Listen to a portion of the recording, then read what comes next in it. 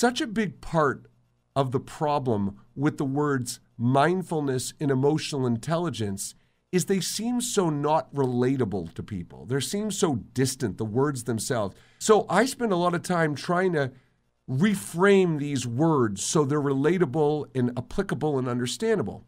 And so I found a way, Ted, that I think really captures what gets in the way of emotional intelligence. Because a lot of people, when they think of emotional intelligence, they think of conflict and anger and frustration. And that's what they go to. Like, I'm mad and I got to respond and not react, which is true. I mean, this is a huge aspect of emotional intelligence.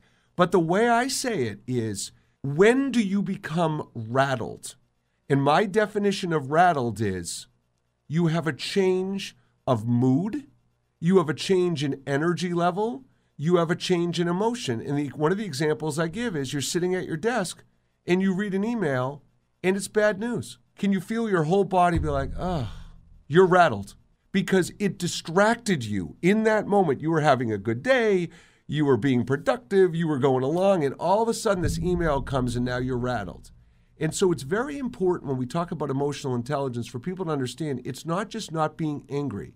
It's recognizing when your mood, emotion, or energy has subtle changes in it, and then the consequences of those subtle changes. So when you recognize that change of emotion, mood, and energy, what do you have to distract yourself from going down the bad path?